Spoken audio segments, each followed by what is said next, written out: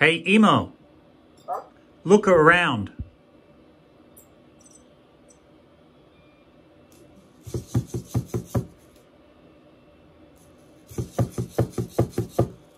See, now Emo's looking around. That's different to turn around. He's having a good look around the place to see what's going on.